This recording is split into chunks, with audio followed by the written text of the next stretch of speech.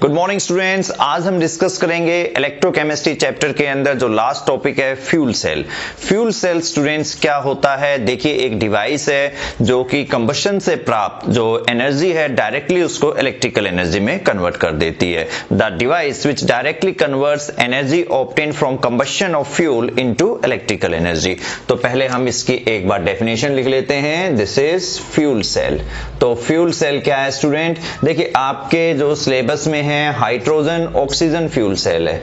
Hydrogen oxygen fuel cell hydrogen combine करेगी oxygen के साथ वाटर बनेगा और इस प्रोसेस के अंदर एक्जोथर्मिक प्रोसेस है हीट लिबरेट होगी। एक्सोथर्मिक क्यों है स्टूडेंट आप किसी भी चीज़ को अगर किसी भी सब्सटेंस का आप कंबशन करते हैं तो कंबशन जो है रेडॉक्स रिएक्शन है और एक्जोथर्मिक होता है, ठीक है? तो हाइड्रोजन का आप कंबशन कर रहे हैं ऑक्सीजन की प्रेजेंस में तो वाटर बनेगा और हीट बनेगा।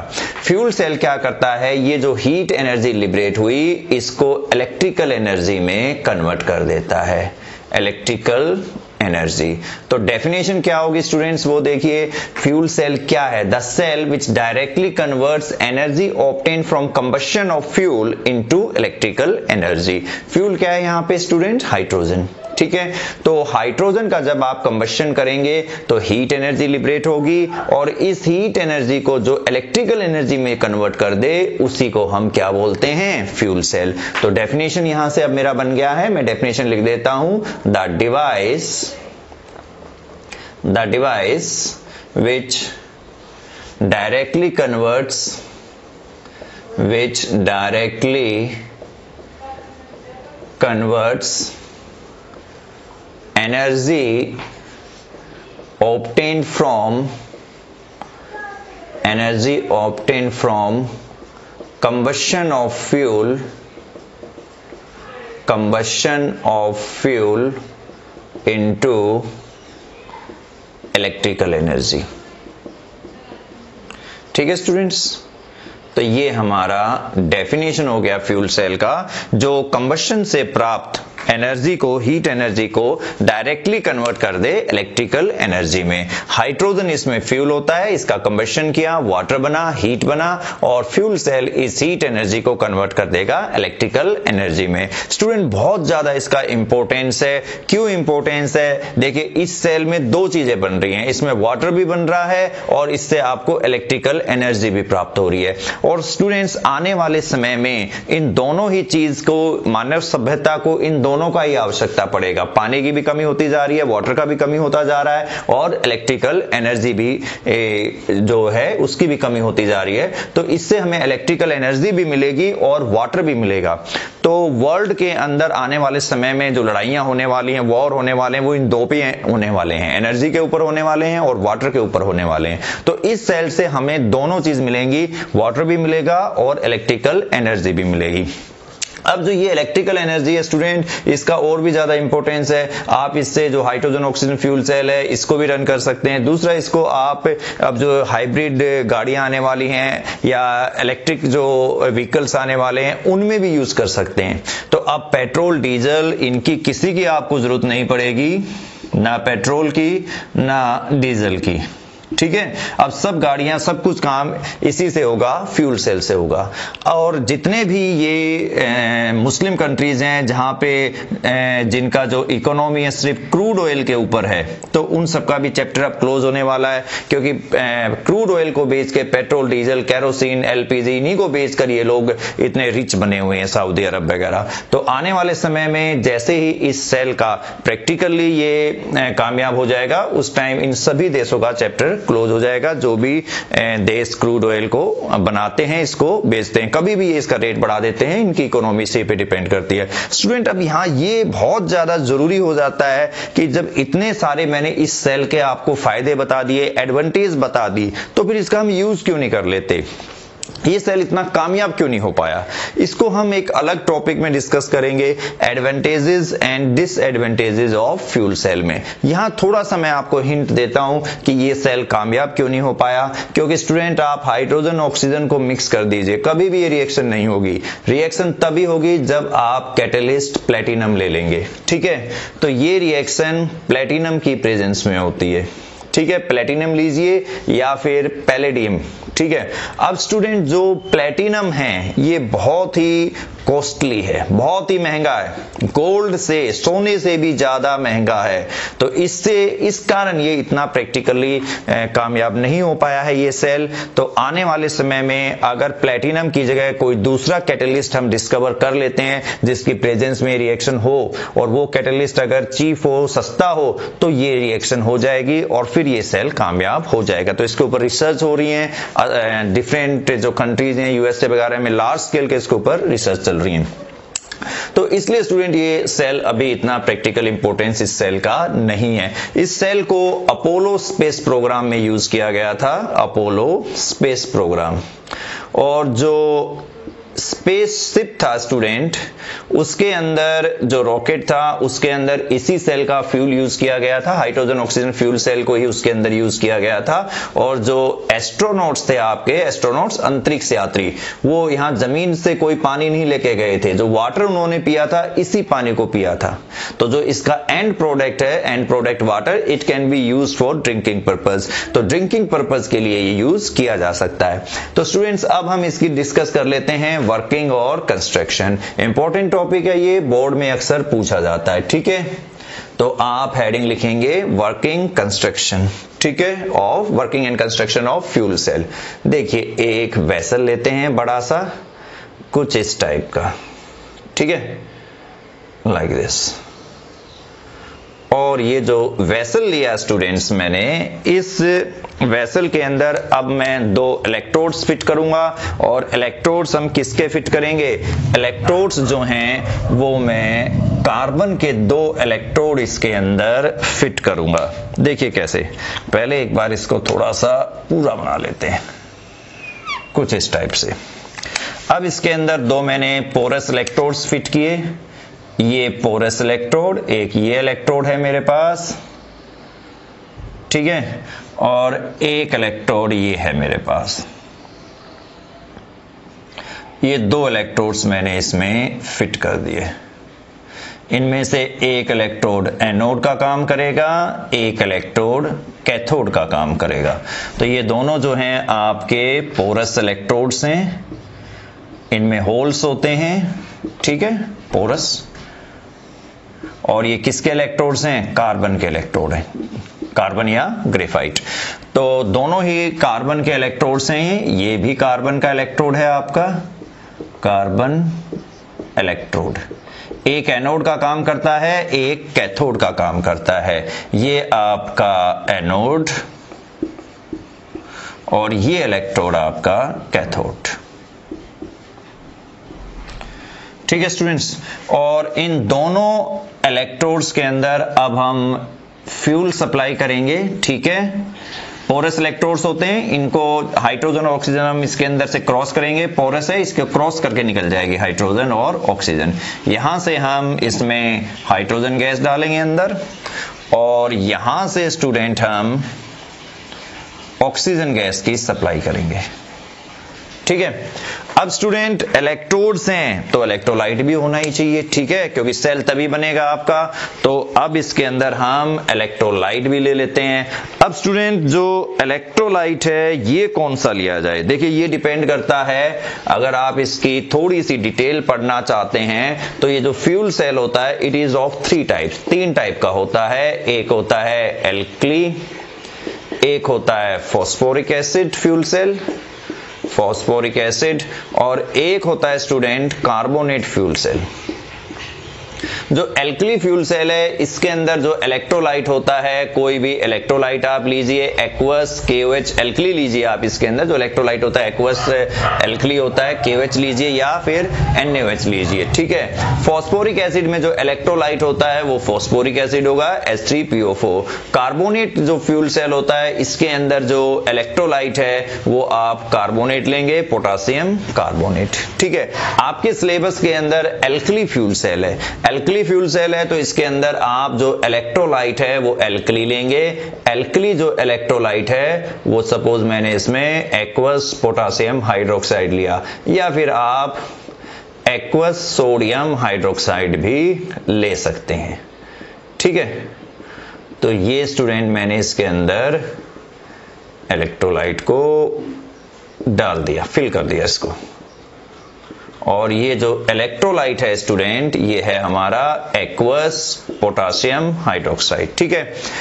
अब स्ट्रॉन्ग इलेक्ट्रोलाइट है स्ट्रॉन्ग इलेक्ट्रोलाइट है तो आयंस में डिसोशिएट होगा, टूटेगा कैसे? के में और ओ OH में। एक्वस है वाटर भी आपने इसमें डाला हुआ है, ठीक है? अब देखिए स्टूडेंट्स आगे क्या होगा इसके अंदर? से अब एक इलेक्ट्रोड ये था, एक इलेक्ट्रोड ये था, ये आपका एक इलेक्ट्रोड है जो एनोड का काम कर रहा है, ये कैथोड का काम कर रहा है और स्टूडेंट इसी चैप्टर में इलेक्ट्रोकेमिकल सेल में आपको बताया जा चुका है, जो एनोड है वो आपका नेगेटिवली चार्ज पोल है और जो कैथोड है वो आपका पॉजिटिवली चार्ज पोल है। ठीक है?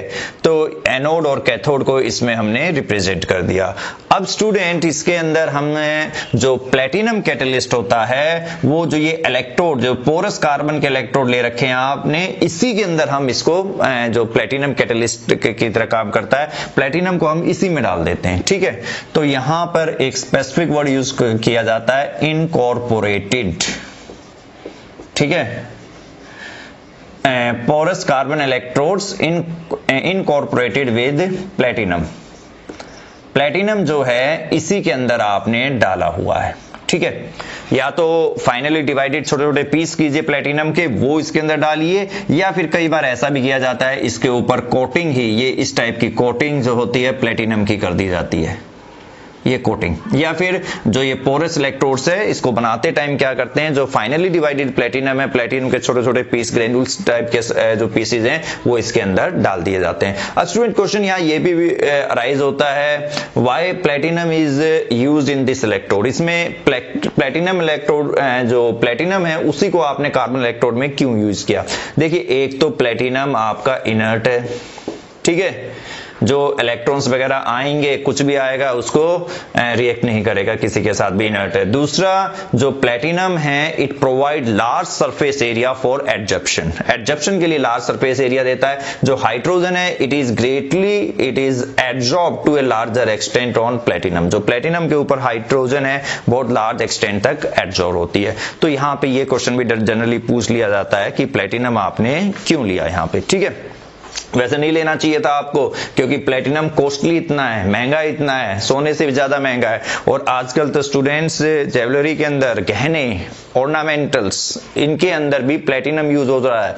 जो गोल्ड है, वो आउटडेटेड हो चुका है। आजकल की जो महिलाएँ हैं लेडीज़ हैं हाई प्रोफ़ाइल जो लेडीज़ हैं, वो गोल्ड का गहने नहीं पहनती। किसका पहनती हैं? प्लेटिनम का। तो किसी हाई प्रोफ़ाइल पार्टी में अगर आप गए हो तो देखा होगा, आजकल गहने भी किसके पहनती हैं महिलाएँ? प्लेटिनम के गोल्ड आउटडेटेड हो चुका है सही अब देखिए स्टूडेंट्स आगे देखिए, अब हम इसकी रिएक्शन डिस्कस करते हैं केमिकल रिएक्शंस चलिए यहाँ स्पेस है हमारे पास, यहाँ पे यूज़ करते हैं. स्टूडेंट्स यहाँ आप, एक बार आप इसका स्क्रीनशॉट लीजिए, फिर मैं इसको मिटाता हूँ यहाँ से, ठीक है? जल्दी से लीजिए। आई होप ले लिया होगा। तो इसको मैं रफ करता हूँ ताकि हमारे पास यहाँ पे स्पेस क्रिएट हो जाए। चलिए साहब, ये मैंने इसको रफ कर दिया।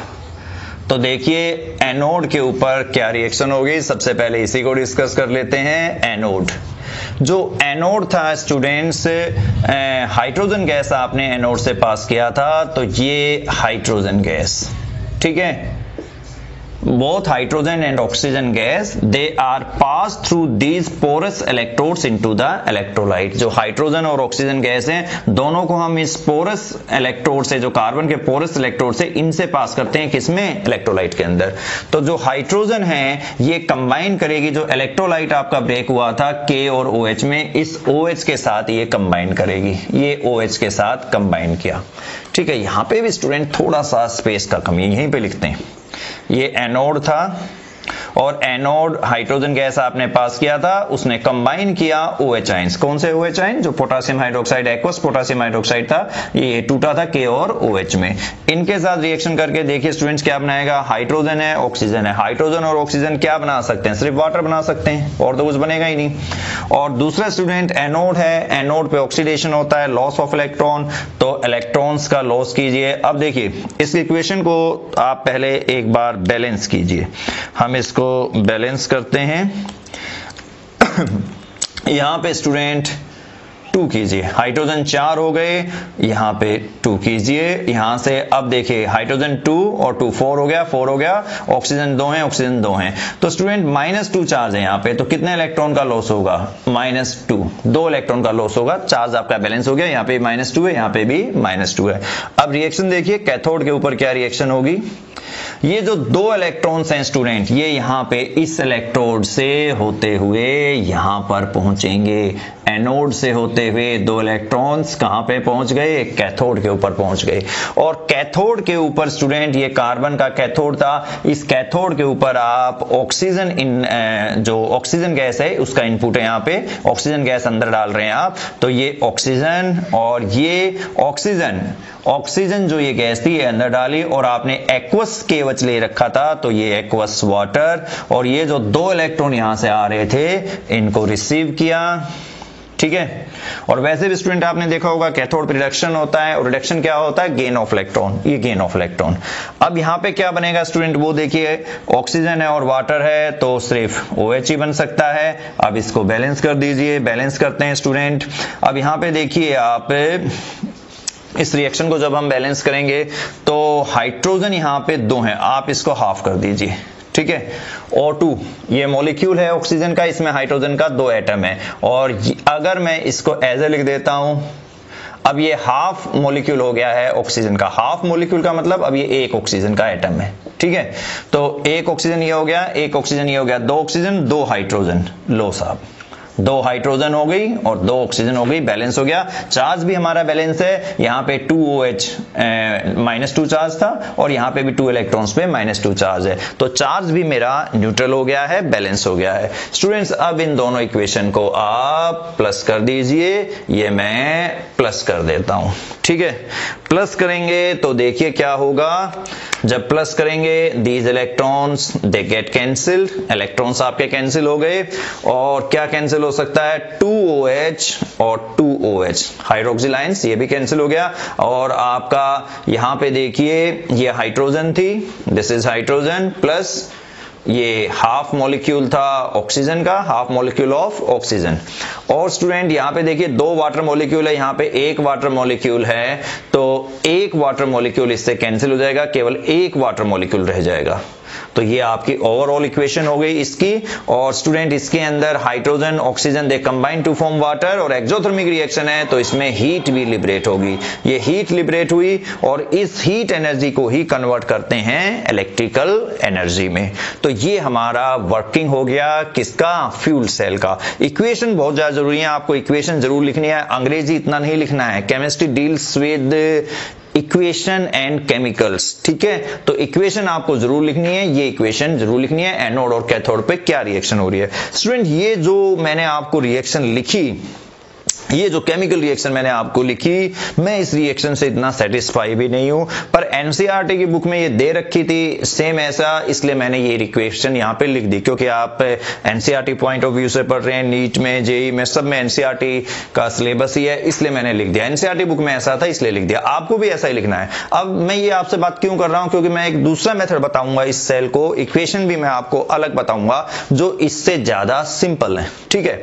अब एनसीईआरटी e जो है उसके अंदर इतना डिटेल में नहीं बता रखा, ये वाटर कहाँ से आया, इस टाइप की कुछ नहीं है। मैं इस वाटर को लूँगा ही नहीं। एक और मेथड मैं आपको बताता हूँ, जो मैंने एमएससी में पढ़ा था। ठीक है?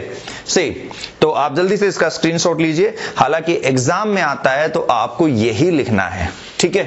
क्यों ये लिखना है? क्योंकि जब सीबीएसई बोर्ड में कॉपियाँ हम लोग चेक करने के लिए जाते हैं स्टूडेंट तो सीबीएसई एक की आंसर की जो है वो इशू करती है। और इस आंसर की में जो आंसर होते हैं, उसी के अनुसार हमें इंस्ट्रक्शन दी जाती हैं कॉपीज चेक करने के लिए आपकी बोर्ड की कॉपियाँ तो आपको यही लिखना है। आपका एक्स्ट्रा नॉलेज के लिए मैं एक और आपका, दूसरे टाइप का इसका वर्किंग बताता हूँ। ठीक है? स्क्रीनशॉट लीजिए जल्दी से। आपने ले लिया होगा। चलिए जी, रफ करते हैं अब इसको। से देखिए स्टूडेंट एक और जो हम लोग एमएससी में पढ़ते थे, इसकी वर्किंग और कंस्ट्रक्शन वो क्या थी? वो ज़्यादा सिंपल है। क्या थी वो? देखिए कंस्ट्रक्शन सेम है आपकी। दो पोरस इलेक्ट्रोड लिए। यहाँ से हाइड्रोजन गैस को अंदर किया आपने, यहाँ से ऑक्सीजन गैस को अंदर किया, और जो इलेक्ट्रोलाइट लिया था, आपने पोटासियम हाइड्रोक्साइड लिया था, या फिर सोडियम हाइड्रोक्साइड लिया था, ये आपने इलेक्ट्रोलाइट लिया था। और ये जो इलेक्ट्रोड था एनोड का काम कर रहा था, ये इलेक्ट्रोड कैथोड का काम कर रहा था। अब स्टूडेंट्स आपने एनोड्स जो है, यहाँ से आपने हाइड्रोजन हाइड्रोजन का इनपुट दिया था। हाइड्रोजन गैस यहाँ से आपने पास की थी तो एनोड पे देखिए क्या रिएक्शन होगा। हाइड्रोजन गैस को आपने पास किया, ये हाइड्रोजन गैस और एनोड पे ऑक्सीडेशन होता है ऑक्सीडेशन लॉस ऑफ़ इलेक्ट्रॉन ये लॉस ऑफ़ इलेक्ट्रॉन ठीक है? ऐसा इक्वेशन और ये जो H है एटॉमिक ऑक्सीजन है अनस्टेबल है अनस्टेबल है, इसको स्टेबल करने के लिए H2 कीजिए। अगर यहाँ आपने H2 कर दिया तो पूरी इक्वेशन को दो से मल्टीप्लाई कर दीजिए। The equation will get automatically balanced automatically balance हो जाएगी। तो यहाँ आपने दो इलेक्ट्रॉन कर दिया, ये दो कर दिया। पूरी इक्वेशन को दो से मैंने मल्टीप्लाई कर दिया, ठीक है? तो ये रिएक्शन हो गई आपकी एनोड पर। अब रिएक्शन देखिए स्टूडेंट्स कैथोड के ऊपर क्या रिएक्शन होगी? कैथोड जो था स्टूडेंट कैथोड के ऊपर आप क्या पास कर रहे हैं? ऑक्सीजन ये ऑक्सीजन ठीक है? ऑक्सीजन के ये दो एटम्स हैं मॉलिक्यूल है ये एक ऑक्सीजन का, इसका हाफ़ कर दीजिए तो एक एटम हो गया ये ऑक्सीजन का। अब जो कैथोड पे आप ऑक्सीजन पास कर रहे हैं स्टूडेंट कैथोड जो होती है, उस पर रिडक्शन होता है रिडक्शन गेन ऑफ़ इलेक्ट्रॉन होता है। तो ये जो ऑक्सीजन है, ये ऑक्सीजन ये जो दो इलेक्ट्रॉन्स थे, इनको रिसीव करेगी। ये रिसीव कर लिया। ठीक है? इन दो इलेक्ट्रॉन्स को ऑक्सीजन जो गैस थी, इसने रिसीव किया और रिसीव करने के बाद स्टूडेंट अब थोड़ी सी मैं इसमें कहानी में चेंज करता हूँ। वो चेंज क्या है स्टूडेंट कि हम लोग जो एमएससी में पढ़ते थे, वो क्या पढ़ाया गया था? कि यहाँ पर बीच में ये, यहाँ पे एक प्रोटॉन एक्सचेंज मेम्ब्रेन होती थी ये प्रोटॉन एक्सचेंज मेम्ब्रेन। ठीक है? और ये जो प्रोटॉन एक्सचेंज मेम्ब्रेन है स्टूडेंट इससे केवल प्रोटॉन पास हो सकता है इलेक्ट्रॉन पास नहीं हो सकता। जैसे आपने इसी चैप्टर में ऑस्मोसिस में आपने पढ़ा था सेमी परमिएबल मेम्ब्रेन और सेमी परमिएबल मेम्ब्रेन से सिर्फ़ सॉल्वेंट मॉलिक्यूल पास हो सकता था सोल्यूट पास नहीं हो सकता था। ऐसे ही जो ये प्रोटोन एक्सचेंज मेम्ब्रेन है, इससे केवल प्रोटोन पास हो सकता है, इससे इलेक्ट्रॉन पास नहीं हो सकता। तो एक बार फिर से देखिए। एनोड पे आपने हाइड्रोजन गैस पास किया, एनोड पे ऑक्सीडेशन होता है तो हाइड्रोजन का ऑक्सीडेशन हुआ, इसने इलेक्ट्रॉन का लॉस किया और ये प्रोटॉन बना। ठीक है? ये जो इलेक्ट्रॉन्स थे, ये इस वायर से होते हुए यहाँ पर इस इलेक्ट्रोड कैथोड के ऊपर पहुँचे और जो ये प्रोटॉन था, स्टूडेंट ये जो प्रोटॉन था, ये यहाँ से पोरस इलेक्ट्रोड से इनसे पास होते हुए ये इसको जो ये प्रोटॉन एक्सचेंज मेम्ब्रेन है, इसको क्रॉस कर गया। इसमें से क्यों पास हो गया? क्योंकि इस प्रोटॉन एक्सचेंज मेम्ब्रेन जैसे नाम से पता चल रहा है, प्रोटॉन एक्सचेंज मेम्ब्रेन, इसमें से केवल प्रोटॉन पास हो सकता है, इलेक्ट्रॉन पास नहीं हो सकता। तो ये प्रोटॉन इसमें से पास होकर यहाँ पे कहाँ पहुँच गया? कैथोड पे। और कैथोड पे आपने ऑक्सीजन गैस पास की, ये ऑक्सीजन, दो इलेक्ट्रॉन यहाँ आए थे एनोड से वो ये दो इलेक्ट्रॉन और ये प्रोटॉन। ठीक है?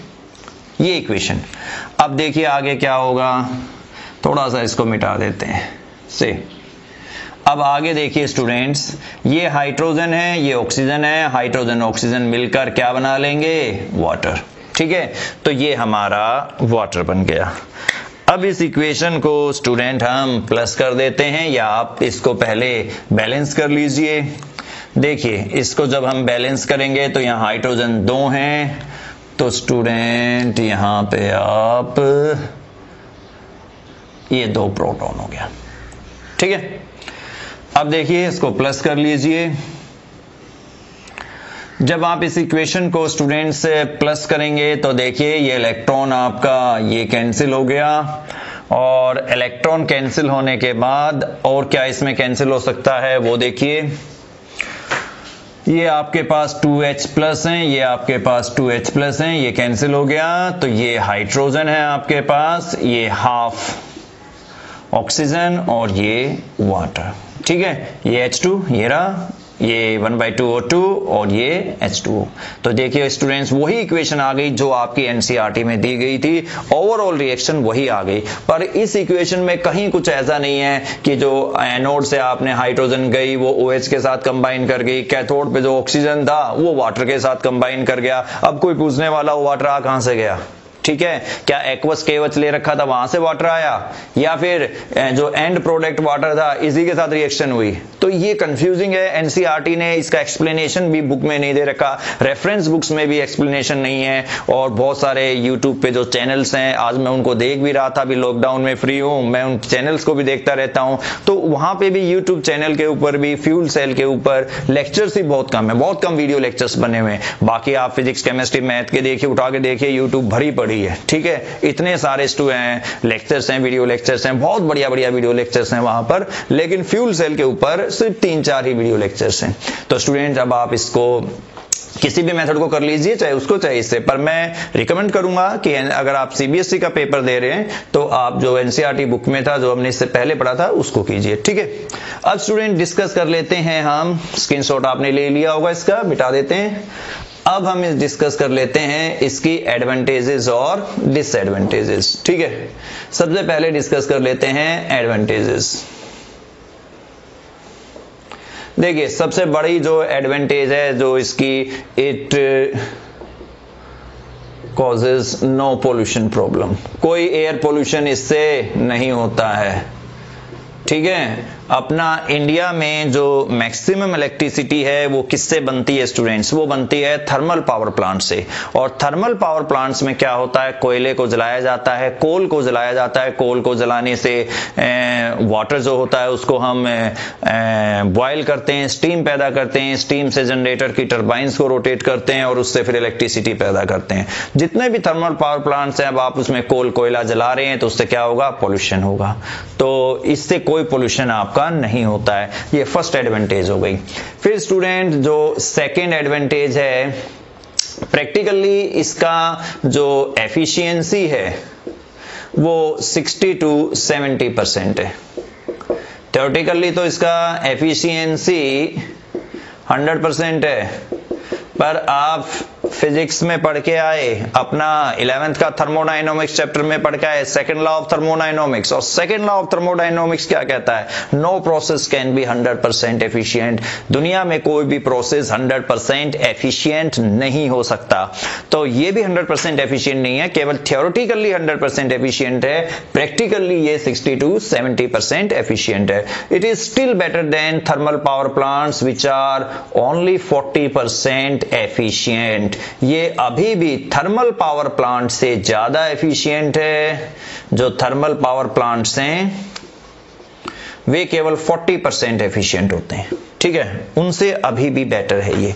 और आपने देखा ही होगा थर्मल पावर प्लांट्स का तो वैसे भी एफिशिएंसी बहुत ही कम है। आपने देखा होगा थर्मल पावर प्लांट्स जो हैं, अगर आप प्लांट को विज़िट करते हैं, अगर हरियाणा साइड में रहते हैं तो यहाँ पानीपत के अंदर थर्मल पावर प्लांट्स हैं। ठीक है? पानीपत सिटी को आप जानते ही होंगे, जहाँ पानीपत का प्रथम युद्ध, पानीपत का द्वितीय युद्ध हुआ था। तो और अभी रिसेंटली एक और थर्मल पावर प्लांट लगा है बहुझोलरी जो विलेज है, झज्जर डिस्ट्रिक्ट में, यहाँ पे भी एक थर्मल पावर प्लांट गवर्नमेंट ने लगाया है। तो स्टूडेंट थर्मल पावर प्लांट में जो कोयला है कोल है, आपने देखा होगा छत्तीसगढ़ से कोयला आ रहा है ट्रेन में आ रहा है।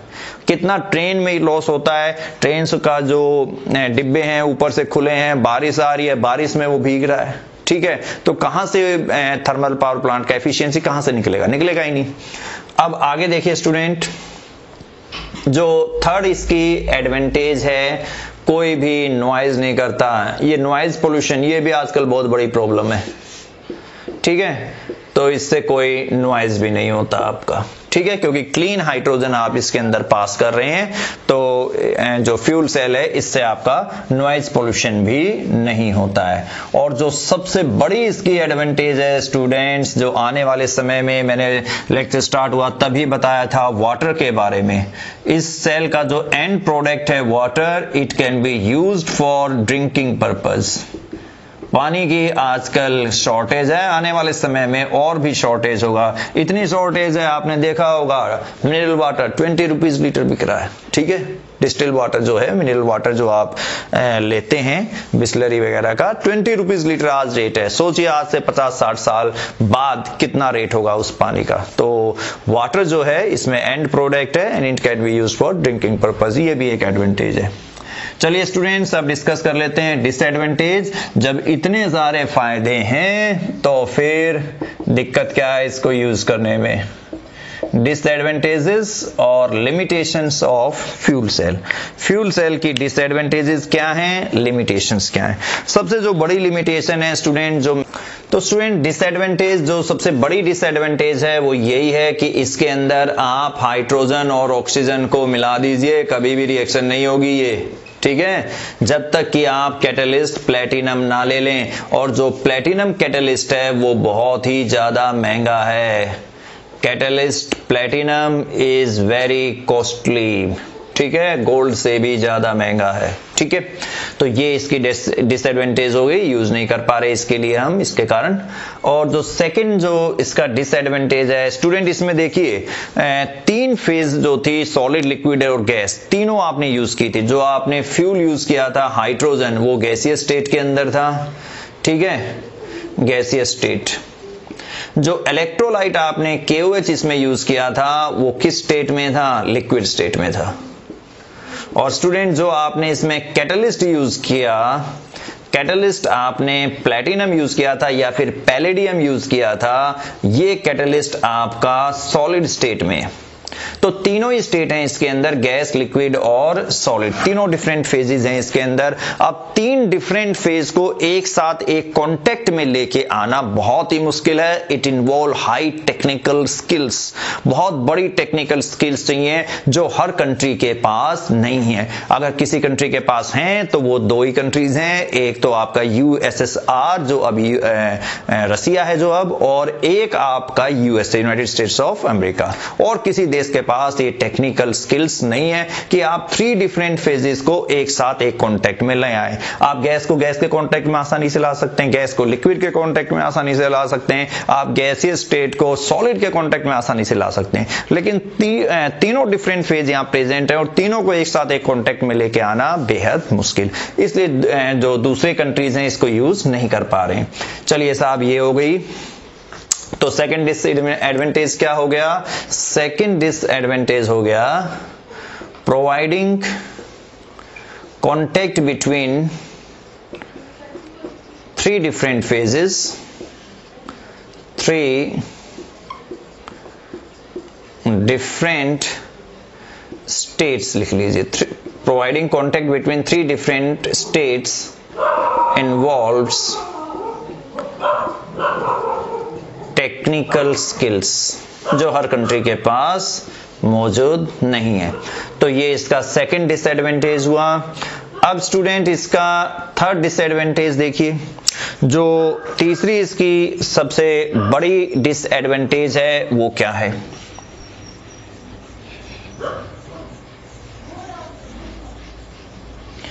ये जो गैसियस फ्यूल है स्टूडेंट हाइड्रोजन एक्सप्लोजिव गैस है, धमाका कर सकती है। तो इस गैसियस फ्यूल को हैंडल करना बहुत बड़ी दिक्कत है। Handling of gaseous fuel handling of gaseous fuel ठीक है? गैसियस फ्यूल को हैंडल करने में भी बहुत ज़्यादा दिक्कत है। इंजन में भी एक्सप्लोजन हो सकता है और जो टेम्परेचर और प्रेशर, लो टेम्परेचर और हाई प्रेशर पे तो और भी सिचुएशन क्या हो जाती है? कॉम्प्लिकेटेड सिचुएशन हो जाती है। तो so these are the disadvantages of hydrogen oxygen fuel cell तो हाइड्रोजन ऑक्सीजन फ्यूल सेल्स की ये डिसएडवांटेज